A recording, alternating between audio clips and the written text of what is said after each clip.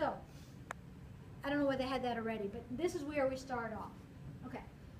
So this is the cortex of the ovary, and this is the medulla. Okay? You obviously can see that this is much larger, much larger of a follicle than these are. So if you can see in the little ones, you see nuclei, then they're either primordial follicles or primary follicles. If you see no nuclei, then you would call them atretic follicles. A-T-R-E-T-I-C, atretic follicles. Okay? Right here, these are oogonia, just like in the seminiferous um, vesicles. The stem cells tend to be very, very close to the cortex, and they're very, very small. Okay, so those are the oogonia. And the tunica albuginea with uh, epithelial layer is right here. Okay, so this is part of the ovarian cortex, or you can just say ovary is fine. These don't have any um, nuclei in there, so these are atretic follicles. This is after the corpus albicans, right? It's falling, it's starting to deteriorate. And how you, you can actually see, this is a nucleolus of a primary oocyte. And so this is um, a primary follicle.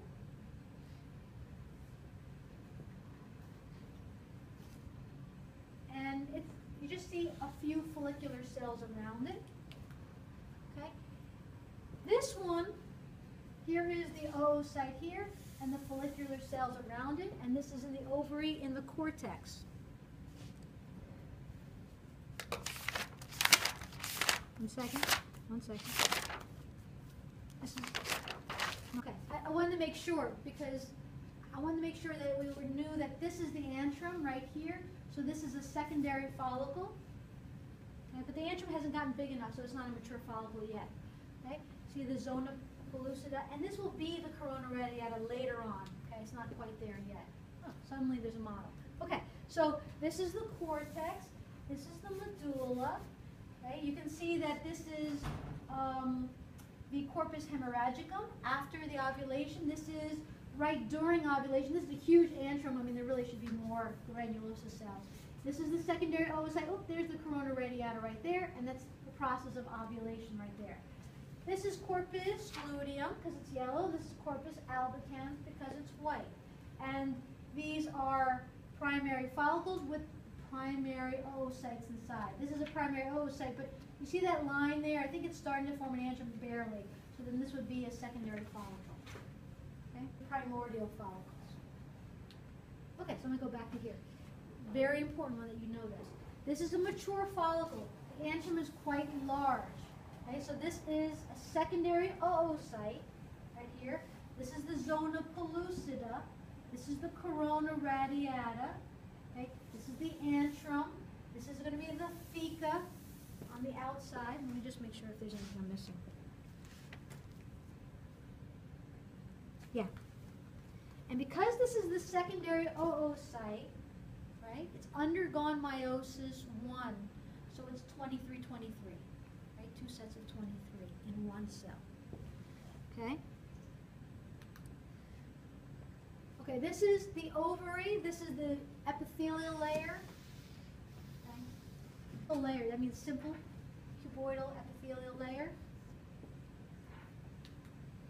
Okay, this is a corpus luteum just starting to form. Now, if I were you, when you go home, take a yellow highlighter. So this is slide number six. Make sure you make that yellow.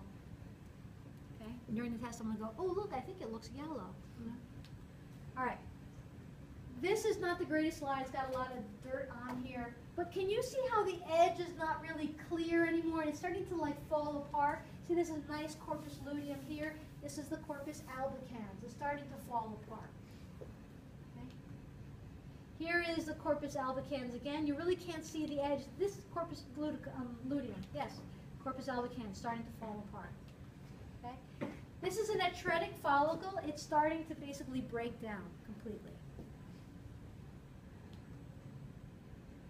You can stop there. So this is the fallopian tube. This is the lumen right here. These are the mucosal folds, okay, and the goblet cells, which produce mucus. Okay, and this is the muscularis over here, helping produce peristalsis. Okay, um, remember this is the endometrium, the myometrium, and the perimetrium.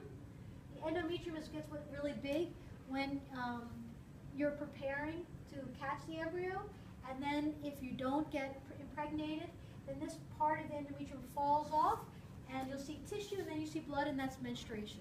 Until the next month, when it starts to get bigger and bigger again. Okay? So, this is actually upside down. It's a electronic microscopic um, picture, and this is the lumen here. I mean, it says LU, but it was backwards and upside down. So this is the lumen. Those are some blood vessels there. But what you have is the endometrium here, and then the thick part would be the myometrium, and then the perimetrium here, and the serosa would be out here. Okay? All right. So basically, what you have here is the um, uterus. This is the endometrium, and you have two layers. They're called strata. You have stratum basalis and the stratum functionalis. The stratum basalis never goes away. It's set. So this is the uterus. Histology continued. Um, the lumen is over here, and the endometrium is this entire thing. You see, it's got some glands here, and the myometrium more is more here. This is the endometrium that will either the functional part will fall off, um, and that will be during menstruation. So when a woman menstruates, the first thing she sees is not blood but tissue. Okay. All right. So basically, this is the uterus. This is the opposite direction. So the lumen is over here, and you can see the whole endometrium with a lot, a lot of uterine glands in here, and there's also blood vessels in there as well. But these these parts are, are the glands. Okay. This is the secretory stage versus here this proliferative stage, which that means that the cells are proliferating, they're making more, so you get bigger, bigger endometrium, and now it's going to start to secrete stuff. That's why it's the secretory stage. Okay? This is the uterus with the menstrual. Obviously, you can see the blood here, and um, you have there are fewer glands here, and you're starting to see the blood in this stage. That's the key, and the lumen is all the way on the right hand side. Okay, so the cervical canal, this is where the cervix is here. They check for cervical cancer. Okay, so this is the cervical canal, and the lining is over here. Okay, and you have clefts. Clefts are like hidden areas, so the kind of the dipped in areas are the long branching clefts. If you just call it a cleft, it's good enough with me. Okay, and this would be the, the whole lumen area right here. Okay, so right here is the vagina. Um, it's really stratified a lot because when a man inserts inside a woman, um, you have uh, a lot of friction, so you're going to have a lot of squamous cells being ripped off, and that's why you have to have that. Okay? So right here is the vagina, and this is the stratified squamous epithelium, and the lumen is all the way over there. Okay? These are mammary glands. Just look at it. Look, look, look. Okay? So basically, here's the mammary gland um, with pregnancy. So here are the spaces. Again, they're called alveoli, and they're lined with simple cuboidal epithelium. Okay? And this is the connective tissue here. Okay? And this is mammary gland with a woman who's lactating, and the alveoli are much larger because they're filled with milk. Okay? And this is the umbilical cord. You have two umbilical arteries. One second, just make sure.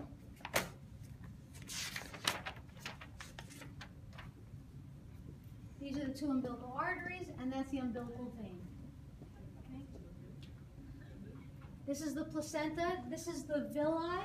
Um, the villi are going like this. They're very long, kind of like bumpy things. And you have the connective tissue is inside. And this is where the mothers and the blood and the baby's blood like to mix nutrients, but they don't actually mix themselves. Okay? We went over this a thousand times. This is the corpus luteum. Make sure it looks yellow, highlight it. Corpus albicans, that's white. Okay, albicans white, gun done. Okay. Um, I think you need to go over this, so look this stuff up for homework, okay? I think there's a place in it you have to define them? Okay.